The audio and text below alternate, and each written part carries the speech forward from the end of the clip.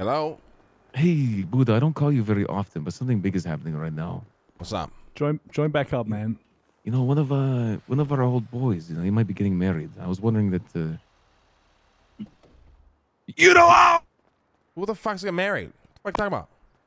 um well come you got a second to stop by Liquid Library? There's a big event going on and you know's here and he wants to talk to you, you know. Uh, sure, know, yeah, I guess we might.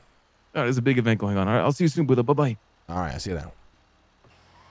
What's going on? I don't know. Apparently, somebody's getting married at the liquid library or some shit, and they want to ask me something. I don't fucking know. I'm gonna head over there real quick. Oh, I just accepted a job. Fuck. Okay, we're gonna do the job real quick, then I head over there. All right, we'll do this little zone. We go stop at liquid library, see what the fuck's going on over there.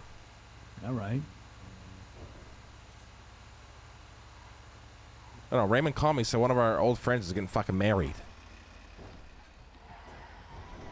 What the fuck that means? Could be, uh, I honestly, could be like a fucking ambush. I'm gonna be honest. It could be some fucking weird shit. One of our old friends. Yeah. What the fuck would even? What the fuck? What the fuck is even going on? I'm, I'm just like confused. I haven't seen Raymond. I don't talk to fucking Raymond. Boys, we ain't go go over there with fucking wrenches out, and anything that fucking happens, we react fast. Yeah.